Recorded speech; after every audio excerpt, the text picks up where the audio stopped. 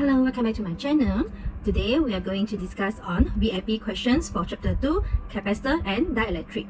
For questions number 1, three capacitors, each of the capacitance C are given. The resultant capacitance of 2 over 3C can be obtained by using them.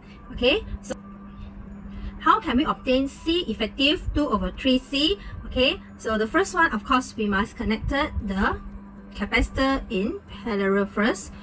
Okay, after that we connected in series. Okay, so if we calculate, okay, C1, C2, C3. Okay, so if we calculate C1 and C2 in parallel, so we will get C12 is equals to C1 plus C2, where we will get C plus C, we will get 2C. Okay, after find C12, okay, we will get C12 and C3 connected in series. Okay, so we will do it in series where C effective is equals to 1 over C12 plus 1 over C3. Okay. Therefore, 1 over C effective is equals to 1 over 2C plus 1 over C. Okay. So finally, C effective or the C total, we will get 2 over 3C. Okay. So the answer here is C. Okay. 2 in parallel and the third in series with this combination. So the answer is C. Question number 2. The capacitance of the capacitor if the potential difference is 10 volt and the charge store is 10 millicoulomb. Okay, so we know that from the equation Q equals to CV. Okay, we want to find C. Therefore, C is equals to Q over V, where Q is equals to 10 millicoulomb and the potential difference is equals to 10 volt.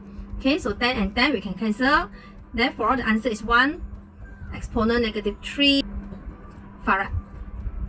So the answer here is C. Next question number 3. If a parallel plate capacitor of the plate area is 2 meter square, the plate separation is 1 meter, 1.77 exponent negative 11 coulomb. What is the voltage across the capacitor? Okay, so our C is equal to epsilon naught epsilon R A over D. Okay, so we substitute epsilon naught is 8.85 exponent negative 12. And then our dielectric constant, because here the separation uh, does not mention that it's a dielectric, so it's equal to 1. Area is 2. And the split separation is 1 meter. Therefore, we will get 1.77 exponent negative 11 farad. Okay, so we want to find V.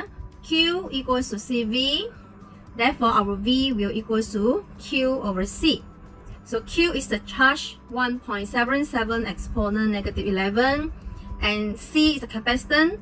We also get 1.77 exponent negative 11. Therefore, the potential difference across the capacitor is equal to 1 volt. Answer is A. Okay, next we go to questions number 4. A parallel plate of a capacitor has the area of 0.5 millimeter square and the separations by the distance of 0.3 cm. Determine the capacitance of the capacitor if the dielectric with the constant 2.3 is inserted between the plates. Okay, so now we want to find C where C is equal to epsilon naught, epsilon R, A over D. Okay, so we substitute epsilon naught is 8.85 exponent negative 12. The electric constant is given 2.3 and the area is 0.5 millimeter square. Okay, so millimeter is negative 3. After we square, we will get negative 6. And the plate separation is 0.3 cm. So I will convert it into meter. 3.4 exponent negative 15 farad. So the answer here is D. Next, we go to question number 5. Four capacitors are connected. C1 is 2 microfarad, C2 is 3 microfarad, C3 is 4 microfarad, and C4 is 5 microfarad. Find the equivalent capacitance between A and B. Okay, so A and B here, okay, we want to find what is the equivalent capacitance. Okay, so if let's say we draw, okay, the diagram actually we should draw in this way, okay, where we have a okay after that A is connected with C1 and C2, C3, C4 are connected in series. Okay, C2, C3, and C4. So first step, what should we do is we must find C2, C3, C4 first uh, in uh, connected in series. So 1 over C234 is equal to 1 over C2 plus 1 over C3 plus 1 over C4. Still 1 over 3 micro plus C3 is 1 over 4 micro plus C4 is 1 over 5 micro. Therefore, C234, we will get 60 over 47 microfarad. Okay, so after we find the value for C234, okay, we will simplify it, become C234, this is C1, okay, so this is B, this is A. Okay, so later we'll do it parallel, okay, where parallel or C effective is equals to C1 plus C234. Okay, so C1 is equals to 2 micro, and C234 is 60 over 47 micro. Therefore, the C effective is equal to 3.27 microfarad. So the answer here is D. Okay, the last question, question number 6. A 100 microfarad capacitor is charged to a potential difference of 6 volt.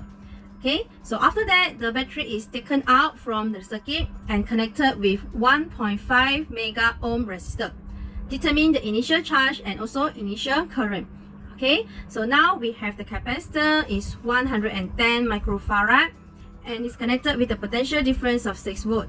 Okay, so this is uh, before the battery take up. Okay, so we know that the initial charge Q naught is equal to CV.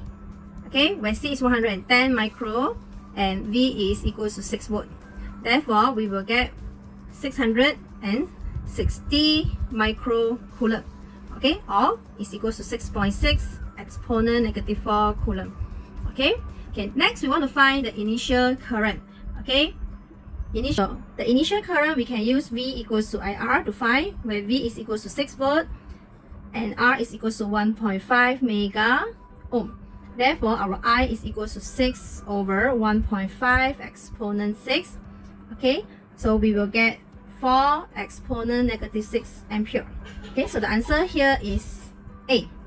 Okay, so that's all for VIP question chapter 2. Okay, please click on the next video. We will continue with the VIP questions for chapter 3. See you on next video. Bye.